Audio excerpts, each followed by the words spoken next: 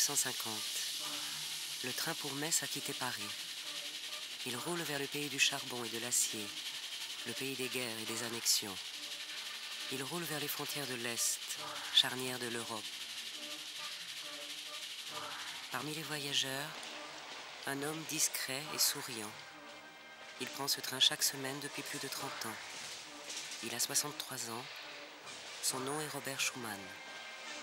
Il va bientôt accomplir un acte audacieux qui lancera la construction européenne. Toujours avec la même discrétion. Une discrétion qui fait de lui un des hommes les plus mystérieux de l'histoire contemporaine.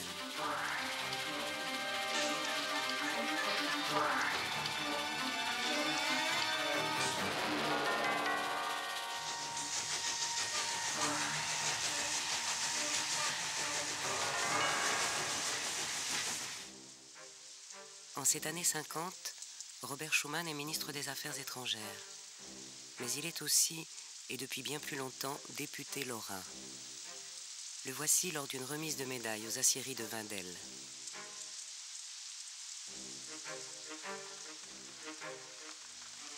Images étonnantes quand on songe aux responsabilités qui sont alors les siennes.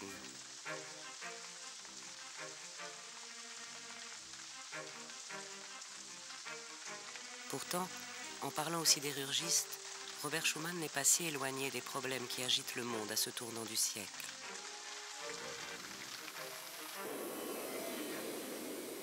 L'avenir de l'Allemagne est la grande question. Sa puissante industrie lourde se remet en marche et inquiète ses voisins européens.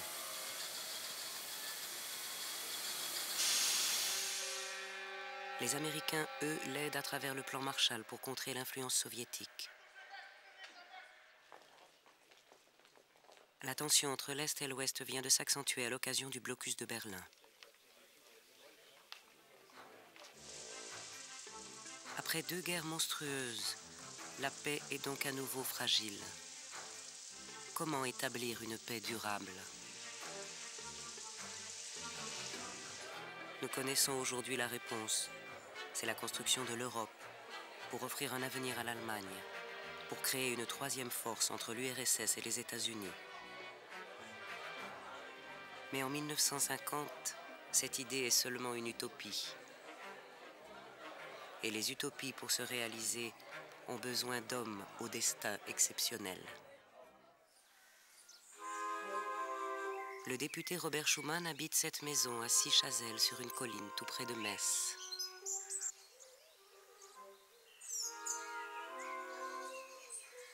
Cette maison est conservée telle qu'il y a vécu. La salle à manger, modeste pour un ministre. Le premier étage est consacré aux livres, sa seule passion. Il constitua au long de sa vie une collection d'autographes et d'ouvrages anciens.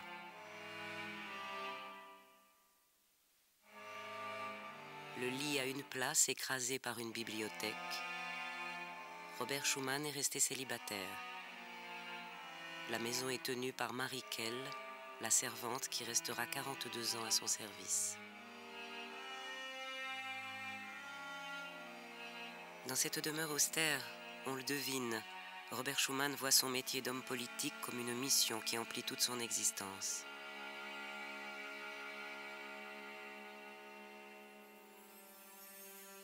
Au loin, les boucles de la Moselle. Robert Schumann a dû souvent les contempler car suivre leur cours c'était pour lui remonter le fil du temps. Quelques dizaines de kilomètres et l'on arrive à la frontière, aux frontières. France, Allemagne, Luxembourg. Voilà les premiers mots d'une histoire, d'un destin.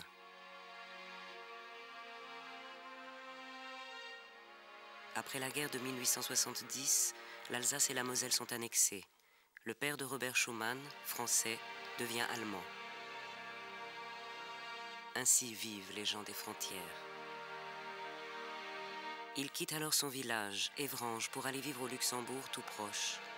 Il épouse une femme du pays. Robert vient au monde en 1886 dans cette maison à Clausen avec la nationalité allemande. Clin d'œil du destin. Si on lève aujourd'hui les yeux au-dessus de cette demeure, on découvre un bâtiment des institutions européennes. Robert apprend trois langues comme font les petits luxembourgeois. Il les parle avec une égale maîtrise. Élève secret, renfermé, mais brillant, très brillant. Son père, plus âgé que sa mère, disparaît lorsqu'il a 14 ans. Sa mère, profondément aimée, va exercer une grande influence sur le jeune Robert. Fine, sensible et pieuse, elle communique à son fils l'amour des livres et une foi qui va marquer sa vie.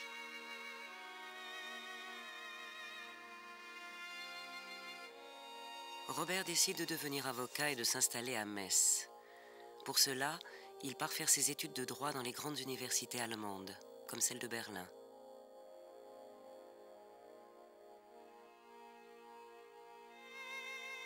Durant cette période, il échange un courrier abondant avec sa mère. Ses lettres écrites en français témoignent de leur profonde communion d'esprit. Clausen, 10 novembre 1907.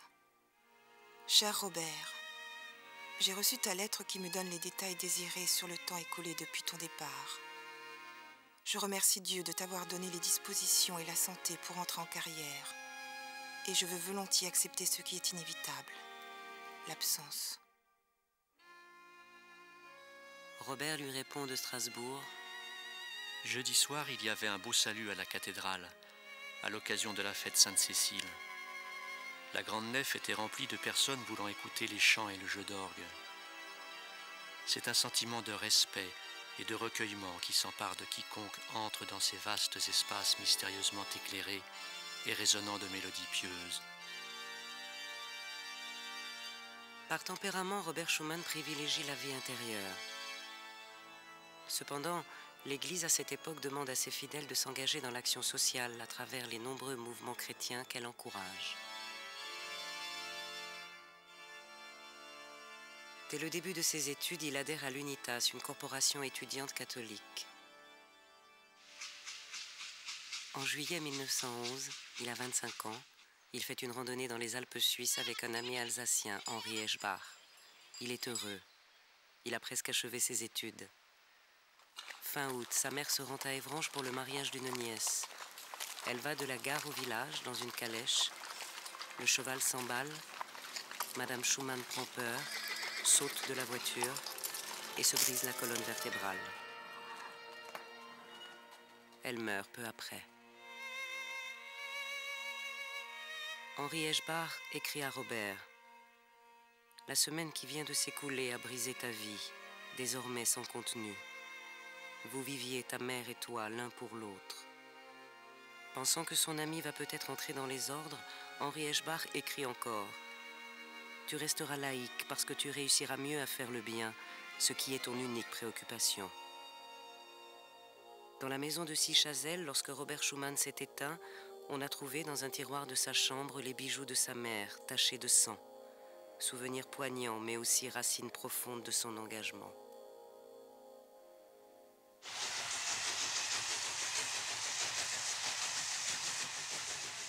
Retour à Paris et aux préoccupations du ministre.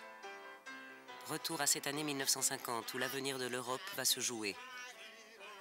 Les Français écoutent les frères Jacques et roulent en quatre chevaux. Ils découvrent les HLM et le confort moderne.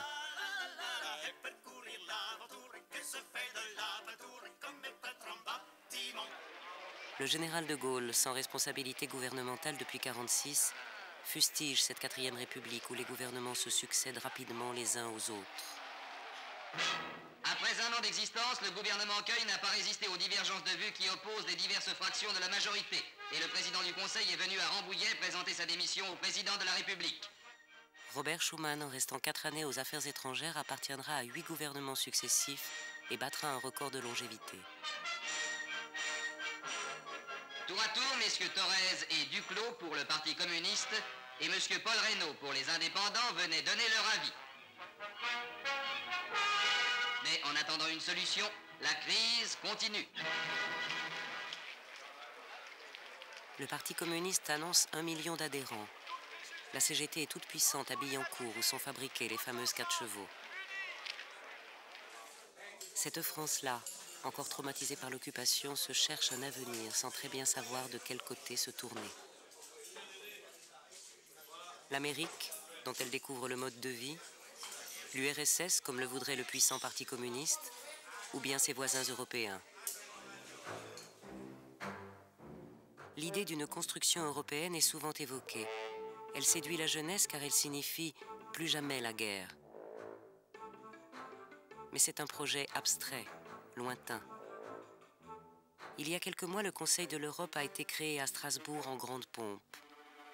Dans ses discours, Churchill parle d'États-Unis d'Europe. En réalité, l'Angleterre se montre hostile à tout projet concret. Schuman, lui, milite pour un conseil ayant un pouvoir de décision et d'action.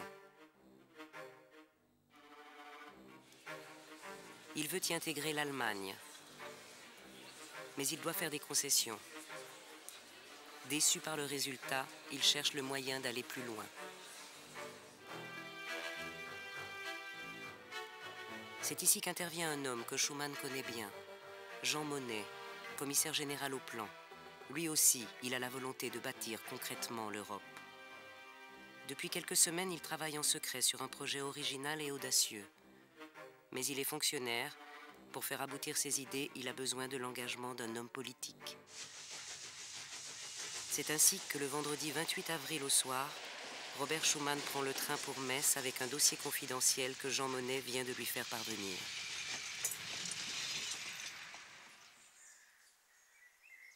Dans le calme de sa maison, il l'étudie en détail.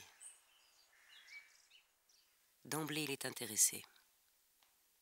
Jean Monnet propose de placer la production de charbon et d'acier française et allemande sous une haute autorité commune dans une organisation ouverte à la participation d'autres pays la France et l'Allemagne créeraient ensemble une institution nouvelle, en partie autonome, une petite graine d'Europe. Schumann voit aussitôt la portée politique de cette proposition et les oppositions qu'elle va engendrer, celles des gaullistes, celles des communistes, celles des nationalistes de tous bords.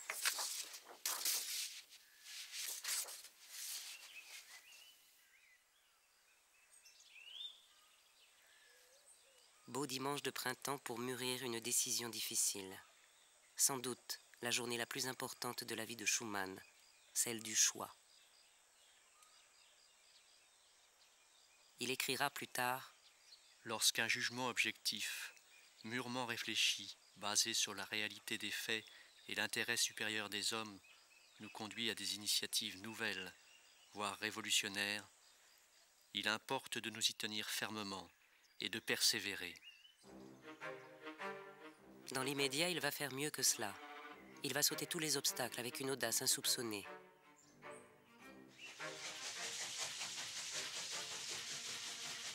Une fois de plus, il revient vers Paris et transmet à Jean Monnet un bref message. J'en fais mon affaire. Il lui faut maintenant obtenir l'accord du gouvernement de Georges Bidault. Au Conseil des ministres du 3 mai, il se contente d'évoquer le projet en termes généraux pour préparer le conseil suivant. Après huit versions successives, l'équipe de Monet et la sienne mettent au point une version définitive du projet dans le plus grand secret. 9 mai, nouveau conseil des ministres. Cette fois, il faut présenter clairement le projet. René Pleven, mis au courant par Schumann, apporte son soutien. De même pour René Maillère, Reste à convaincre Georges Bidault, très atlantiste. Schumann présente son plan en fin de réunion. La discussion est vive. Mais finalement, le Conseil donne son accord. Schumann convoque aussitôt une conférence de presse au Quai d'Orsay. Il choisit le cadre historique du Salon de l'Horloge et l'horaire, 18 heures. Il veut s'adresser directement à l'opinion pour rendre irréversible l'accord qu'il vient d'obtenir. Lorsqu'il prend la parole, c'est la surprise générale.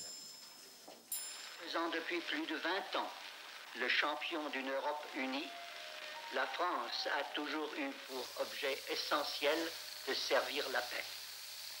L'Europe n'a pas été faite, nous avons eu la guerre. L'Europe ne se fera pas d'un coup ni dans une construction d'ensemble.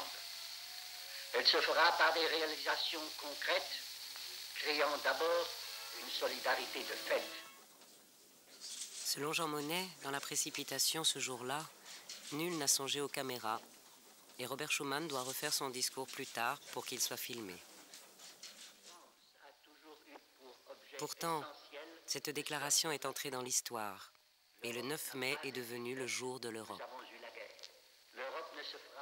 Quelques mots, quelques phrases, prononcées au bon endroit, au bon moment, par un homme convaincu, ont changé le cours de l'histoire.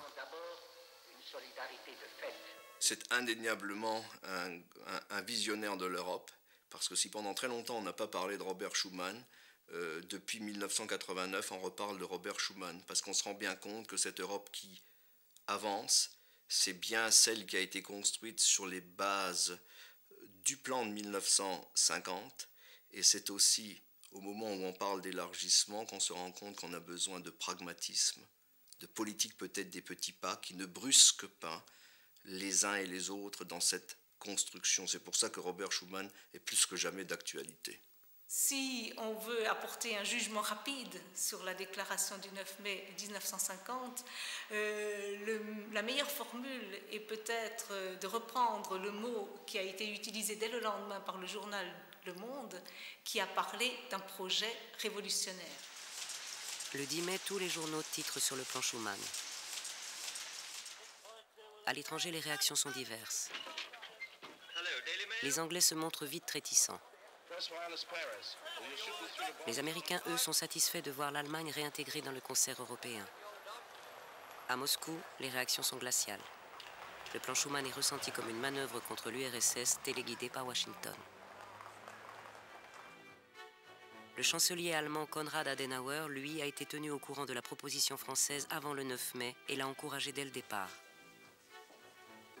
Enfin, l'Italie et les trois pays du Benelux s'associent au projet.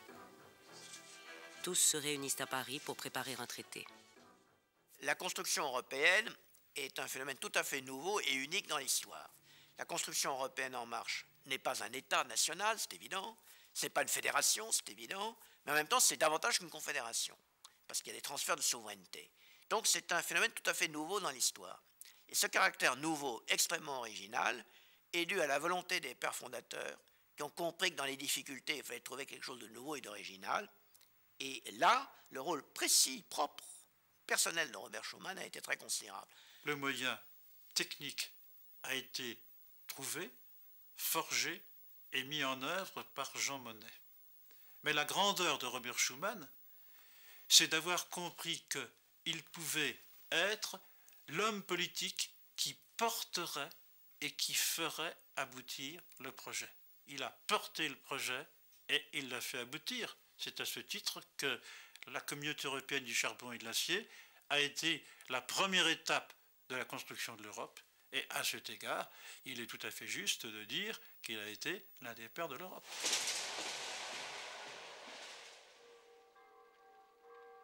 Robert Schuman retrouve bientôt la tranquillité du village de Sichazel. En quelques semaines, il est donc devenu le père de l'Europe. Son enfance frontalière l'y avait sans doute préparé. Mais le chemin qui l'a conduit au 9 mai 50 a été long, jalonné d'épreuves et nullement prémédité. Après la mort de sa mère et la fin de ses études en 1912, Robert Schumann s'inscrit au barreau de Metz. Il ouvre un cabinet sur une avenue chic et semble promis un bel avenir d'avocat. Cependant, il se met rapidement au service d'organisations charitables messines. Il est remarqué par la hiérarchie catholique qui lui confie des responsabilités.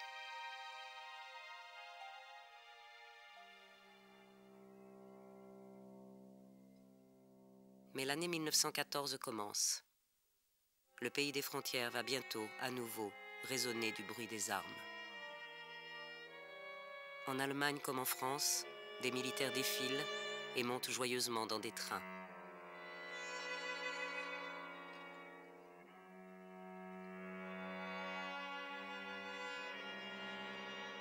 Réformé en 1908 pour raison médicale, Robert Schuman n'a pas fait de service militaire.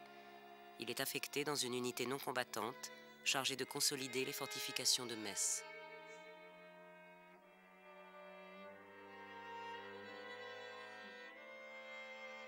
il sympathise avec un certain Henri Hartmann qui sera blessé au combat. Robert Schumann lui écrit Vous étiez beaucoup mieux placé que moi pour constater les aspects sombres de la guerre et de ceux qui la conduisent, pour observer comment l'idéal devait céder le pas au défoulement aveugle et insensé. Ne voyez pas dans ce que je viens de dire le reflet de quelque suffisance. Ce n'est que le regret pour tant d'indignité humaine. Pour Schumann, l'ennemi n'est pas d'un côté ou l'autre de la frontière. On le sent, la guerre est son seul adversaire.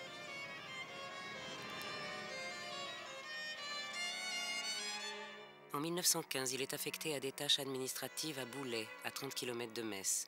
Il y restera jusqu'à l'armistice de 1918.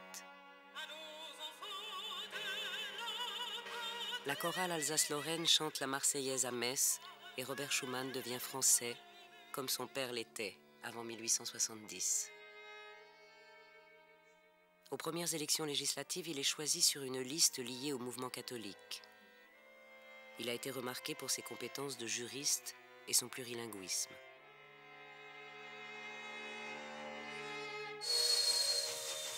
En novembre, il prend pour la première fois le train Metz-Paris. Il découvre la France et sa capitale.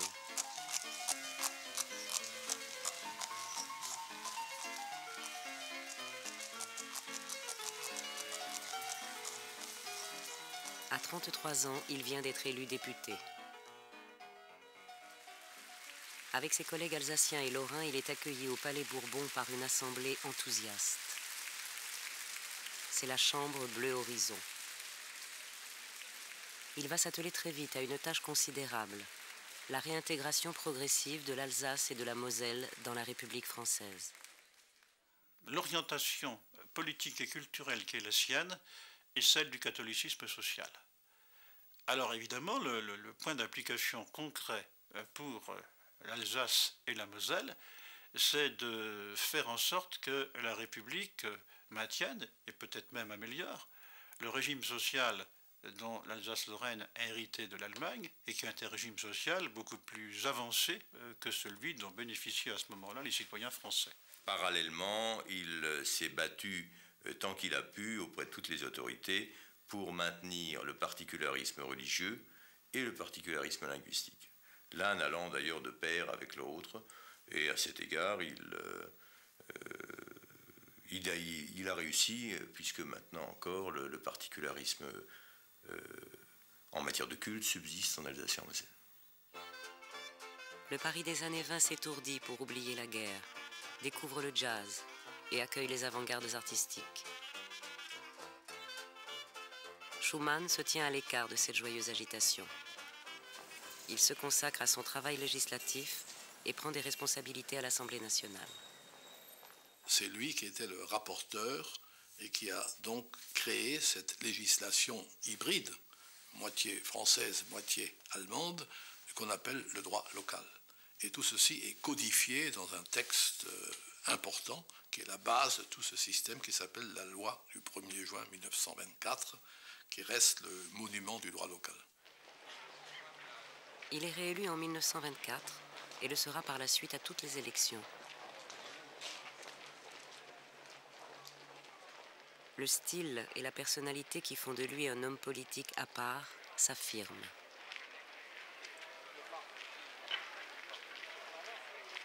Il m'a dit, euh, le commun des mortels croit que lorsqu'on est avocat, par définition, on est orateur. Or, euh, je ne le suis pas.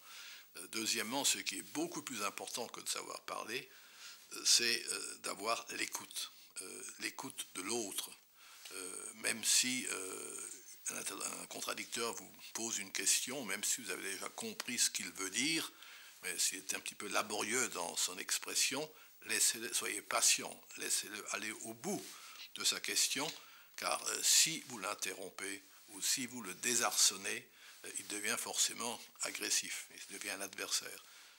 Quand il parlait des autres partis, c'était toujours avec respect, euh, montrant les différences et les divergences, mais toujours avec respect.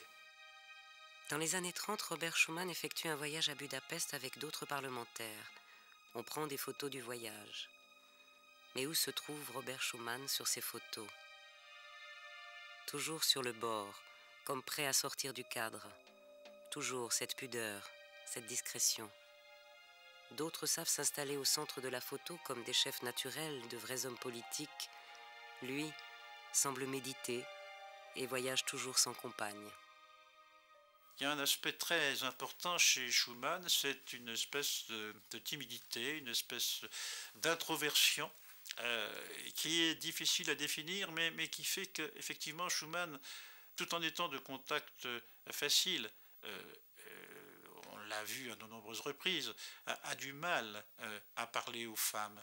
Peut-être euh, y a-t-il un lien euh, qui, peut l'expliquer, c'est le lien très fort qu'il a eu avec sa mère, lien qui, au-delà de la mort, n'a jamais été rompu, et qui fait que finalement, la seule femme qu'il ait aimée et avec laquelle il a eu des relations affectives importantes était sa mère, qui n'a pas peut-être réussi à s'en détacher. C'était un petit peu un esprit. Euh, et, qui devait trouver, euh, comme le dit un de ses détracteurs, euh, collègue de Metz, d'immenses satisfactions dans d'interminables études. Je pense que c'était, c'était, c'était Schumann. C'était un, homme qui, qui avait. Qui, trouvait véritablement, dont, dont, dont, l'énergie s'épuisait à, à certaines activités sociales et politiques et des activités intellectuelles.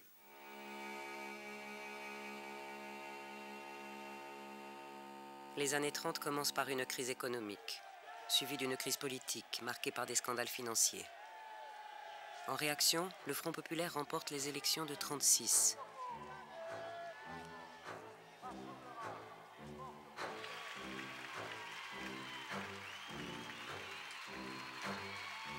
La droite reprend le pouvoir en 38 et se trouve confrontée au coup de force d'Hitler. Fin 38, Daladier s'envole pour Munich président du Conseil français, qui vient de descendre d'avion, est salué par le ministre des Affaires étrangères du Reich, tandis que la musique joue la Marseillaise. Ultime tentative pour sauver la paix.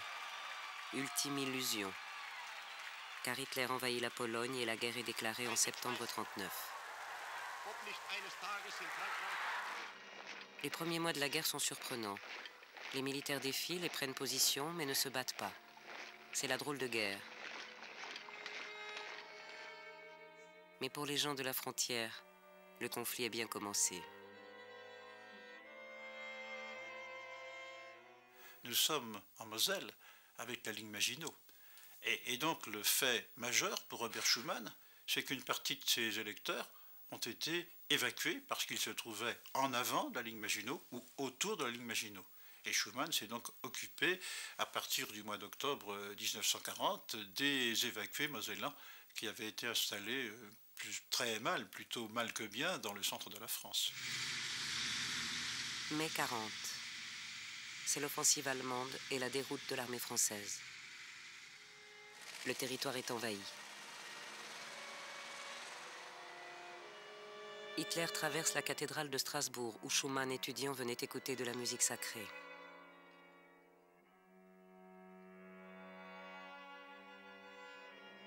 les Allemands entrent à Metz, conduits par le Gauleiter Burkel. Les réfugiés sont sur toutes les routes.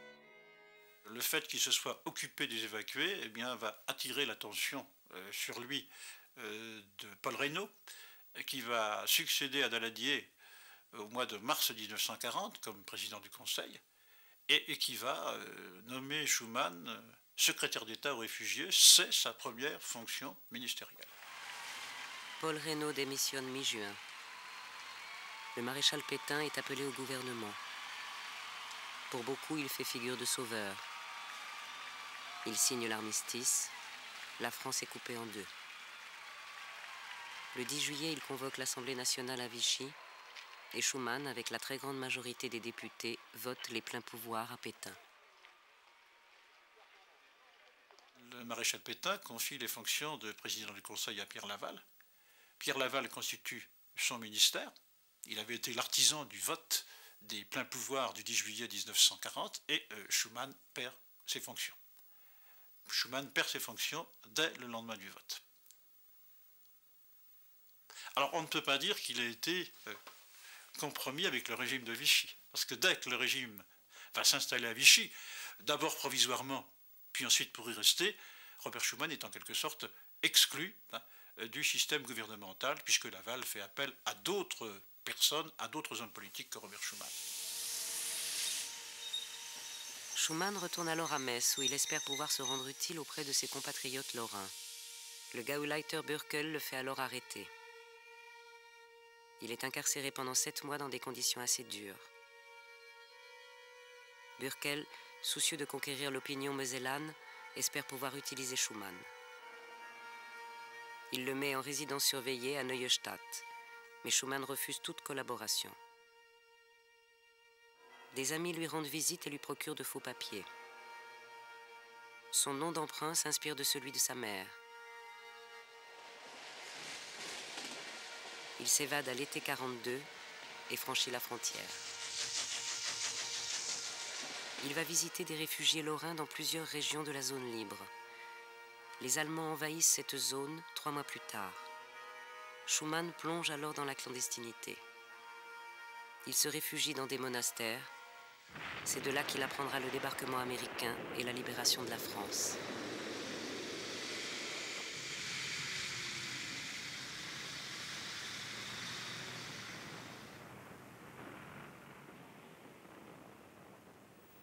Certains disent, et je pense que c'est pas faux, que c'est pendant cette période de méditation euh, et de réflexion en quelque sorte obligée hein, et d'isolement que Robert Schuman, sans établir de plan, parce que ce n'était pas un homme à faire des plans, a progressivement euh, pensé euh, que la réconciliation franco-allemande, d'une part, mais cette réconciliation franco-allemande dans le cadre d'une Europe à construire était peut-être l'une des clés de la paix et de l'avenir.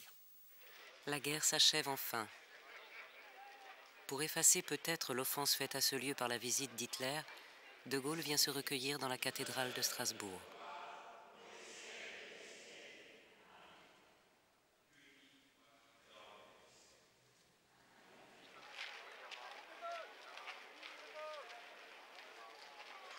À ses côtés, lors de cette journée, deux personnages qui interviennent dans la vie de Schumann en 1944.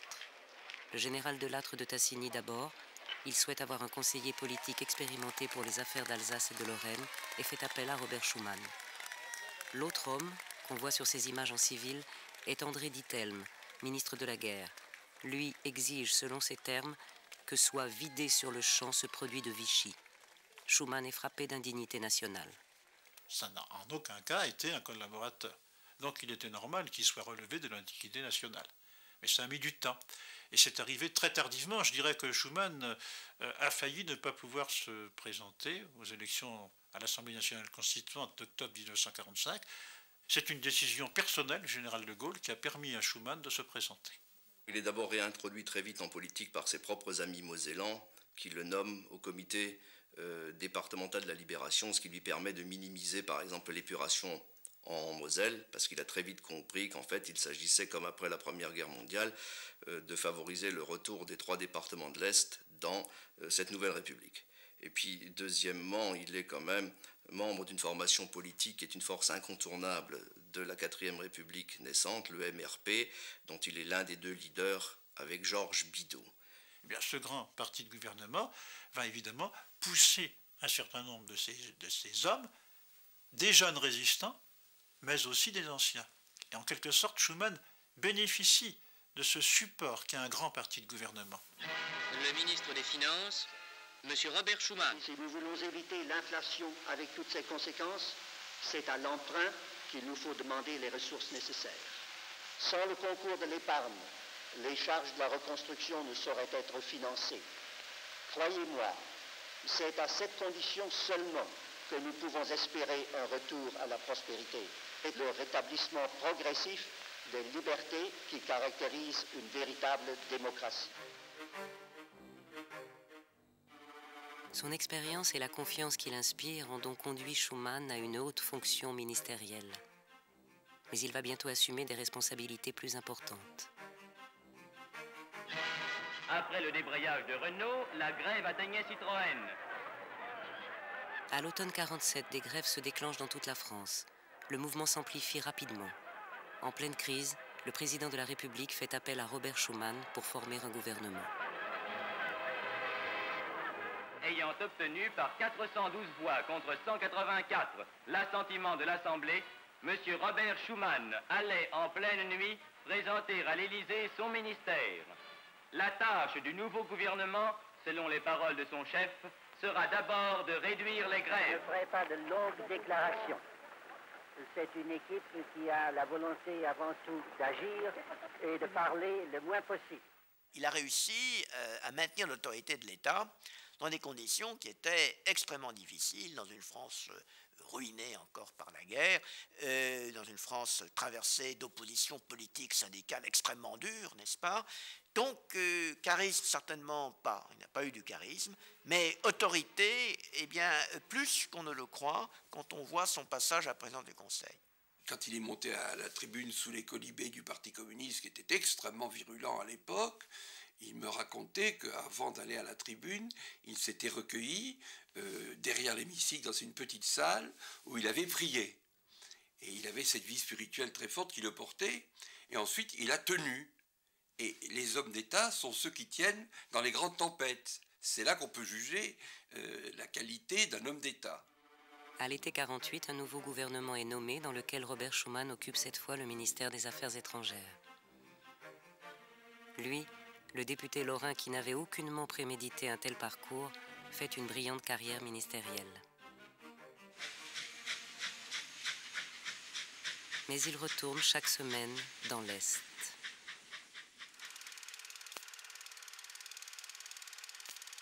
Il participe même à des cérémonies militaires, lui qui a traversé deux guerres sans tenir un fusil.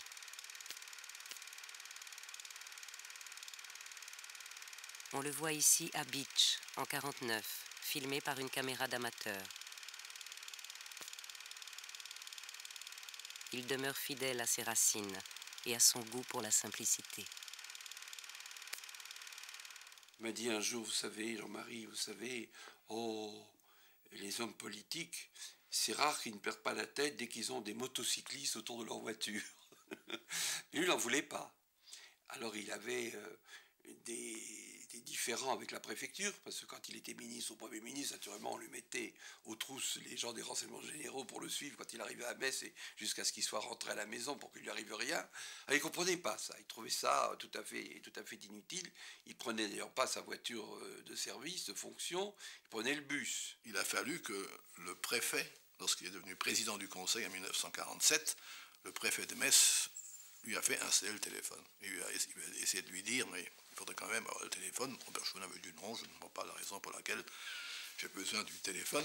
Et le préfet lui a d'office fait installer le téléphone qui était relié directement à la préfecture. Le même été 49, à l'occasion d'un rassemblement religieux à Nancy, il croise l'abbé Pierre, député lorrain lui aussi.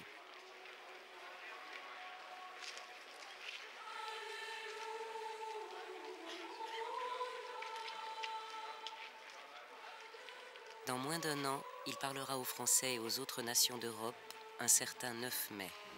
Mais cet épisode, nous l'avons déjà raconté. Retrouvons-le le 18 avril 1951 au Quai d'Orsay, à Paris.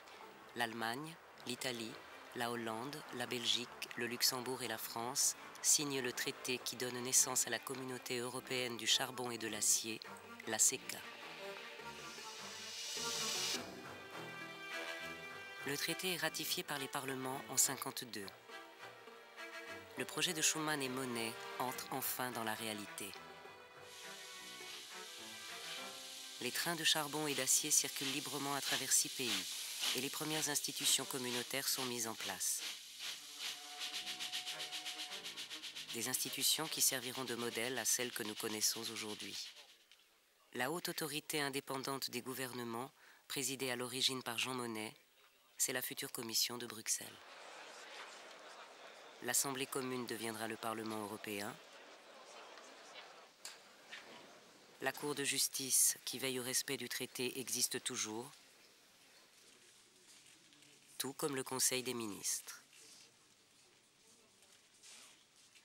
L'originalité tient à cette autorité, cette haute autorité qu'on met en place et qui finalement fait perdre sur les deux marchés un peu de souveraineté aux six États. Et une autre chose qui me semble importante, c'est que c'est une réunion euh, d'États continentaux centrés sur l'axe rhénan, qui réussit quand même à créer entre eux une forme de continuité géographique. Parce que quand vous regardez, hein, des Pays-Bas à l'Italie, il y a une espèce de marché géographique de l'acier et du charbon qui est continu, qui se réalise. Et c'est en ce sens que l'initiative CK peut constituer une espèce de noyau primitif de toute une aventure. C'est bien une révolution tranquille que Schuman a réussi à faire accepter. Les plus enthousiastes s'imaginent déjà une Europe sans frontières. Et pourtant, après ce succès, Robert Schuman va perdre son ministère. La proposition de construire une communauté européenne de défense, la CED, va déclencher une bataille politique sans précédent. L'animation est grande aux abords du Palais Bourbon et la discussion des motions va s'ouvrir dans une atmosphère de fièvre. Après trois jours d'intervention retentissante des partisans et des opposants, la question préalable est votée et la CED rejetée. Schuman était, pour l'armée européenne, je l'ai déjà dit, un peu en, retrait, n'est-ce pas? Il a adopté, il a repris à son compte, mais en se doutant bien que c'était trop tôt. Il est obligé de défendre euh, cette CED et on le rend responsable, de façon injuste d'ailleurs, euh, de cet abandon de souveraineté de la, France. Il y a ce courant anti-européen qui monte et c'est ça réellement euh, qui lui fait, à mon sens, perdre son ministère au début de l'année 53. L'élan européen est momentanément brisé. Et Robert Schuman est désormais sans portefeuille ministériel. D'abord, il a continué à écrire énormément sur l'Europe et il est allé faire, on le demandait pour des conférences absolument partout. Alors, il allait faire des conférences aussi bien à Bruxelles ou ailleurs, mais dans beaucoup d'universités.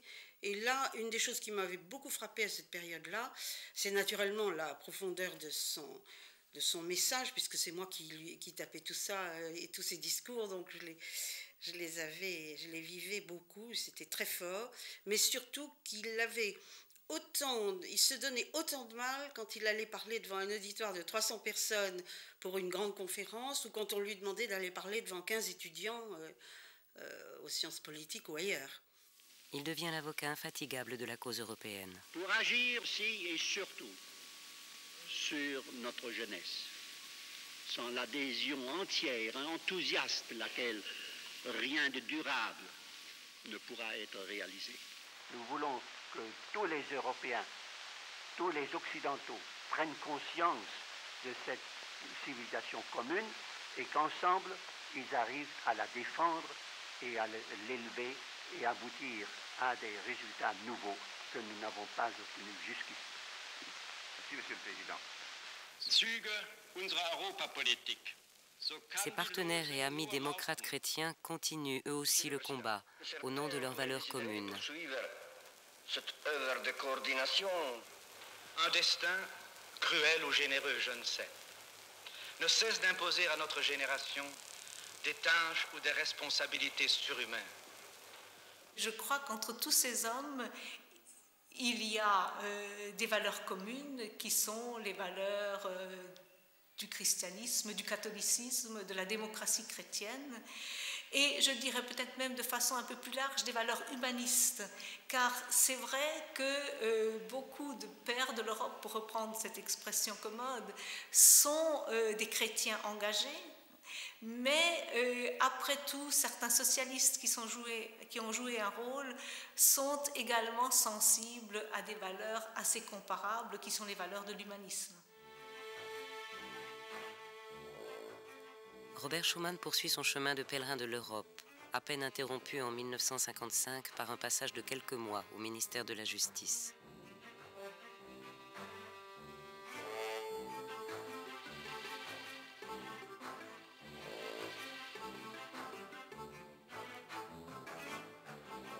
La même année, le processus de construction de l'Europe se remet en marche avec la conférence de Messine. Deux ans plus tard, c'est la signature du traité de Rome qui donne naissance au marché commun et à l'Euratom.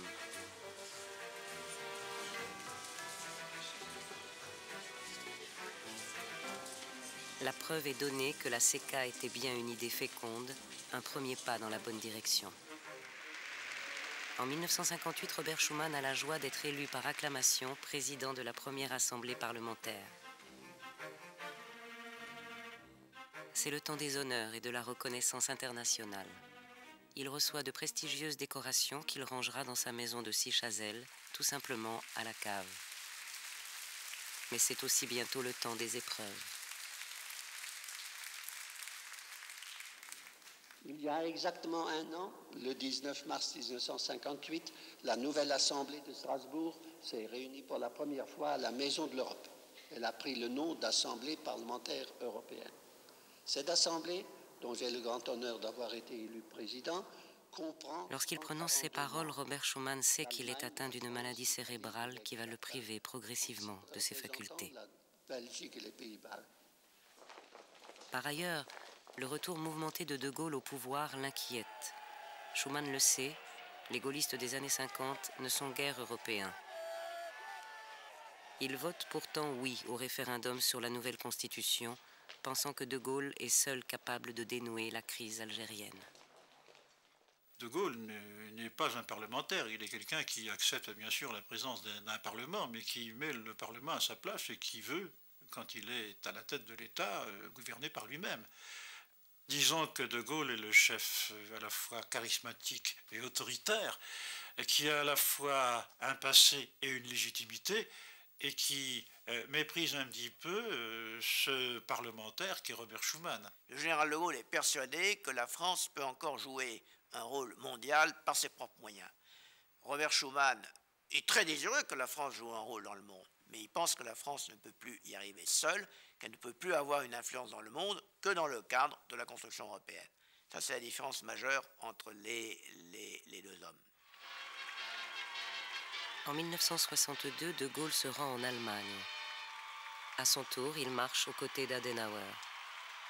À son tour, il prononce des mots historiques sur la réconciliation franco-allemande. Es lebe Bonn! Es lebe Deutschland! Es lebe die deutsch-französische Freundschaft! Adenauer, cependant, écrit au même moment une belle lettre manuscrite à Robert Schuman pour lui dire sa fidélité et son amitié. Mais la maladie de Robert Schuman avance inexorablement. Il s'éteint le 4 septembre 1963.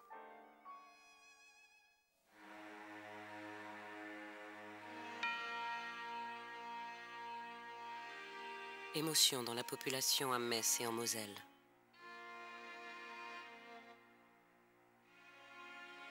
Émotion teintée d'amertume pour les proches de Robert Schuman. Certaines personnalités prestigieuses comme Adenauer ont été dissuadées de venir par le gouvernement de l'époque. Mais l'homme des frontières, celui qui a su les ouvrir, repose en paix dans sa terre lorraine. Il avait des yeux bleus, euh, d'une très grande beauté. Euh, il fixait euh, des fois son interlocuteur avec un sourire qu'il esquissait à peine. Mais euh, je crois que c'était un homme qui était euh, heureux, qui connaissait un, épanouissement humain tout à fait exceptionnel. C'est un homme qui méditait, qui priait beaucoup, qui avait une vie intérieure euh, très très forte et très importante, et qui puisait là sa force et son énergie. Et alors, si moi je l'ai perçu comme un homme doux, je ne l'ai pas perçu comme un homme mou. C'est pas du tout la même chose. C'était un homme de conviction forte. Euh, C'était un homme qui savait exactement ce qu'il allait faire. Il savait ce qu'il valait, Robert Schuman, mais, il ne le faisait pas paraître. Et il avait conscience de sa valeur. Mais il était tellement modeste, modeste, euh, voulait toujours passer derrière, et il ne cherchait jamais à se mettre devant. Un peu d'une simplicité. Dans le train, il emmenait son casse-croûte, il aimait les pommes, il, terminait toujours son repas avec, une pomme. Et euh, je, crois que cette réputation qu'il avait au plan euh, local et au plan national, au Quai d'Orsay le soir, il terminait, travaillait tard, il quittait en dernier le ministère, il, allait partout fermer les lumières. Euh, tout ceci euh, dénote l'homme, non pas que c'était euh, des économies à tout craint, mais euh, tout simplement parce que c'est ainsi qu'il a été élevé et c'est ainsi qu'il concevait le rôle de celui qui représente la nation. 418 fois, 412 fois, 413 fois Quelque temps après sa mort, la magnifique collection de livres anciens de Robert Schumann est dispersée pour le bénéfice de parents lointains. Brochet relié. 1400. Non, mais 1000 Alors 1000 francs. Y a-t-il un amateur à 1000 Oui. 1300. Mais qu'avons-nous fait à notre tour de l'héritage de Robert Schumann? Deux fois, trois fois pour La République a souhaité le faire entrer au Panthéon. Certains au sein de l'Église ont proposé sa béatification. Et nous, pour la plupart, nous avons oublié sa silhouette de M. Hulot, comme son visage de Gandhi chrétien. Pourtant, son exemple demeure, son destin n'est pas achevé. Comme celui de l'Europe, il est entre nos mains.